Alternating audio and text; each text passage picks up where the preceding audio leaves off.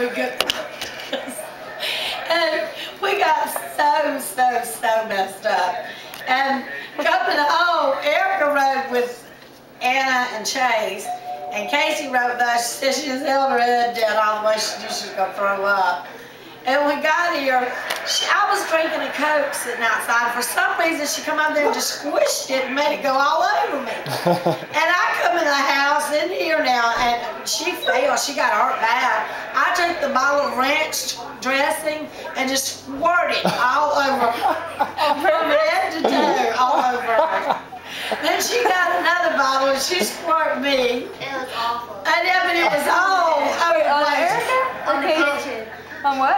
Uh, well, all my mom and Casey were the ones We were covered in white and even eat ranch for a long time. I had to get some other salad dressing. I couldn't stand the wet smell. And I took a bath, got all that mess off of me.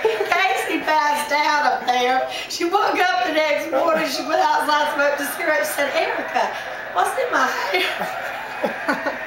she didn't let it dry on her. I said we should have pictures.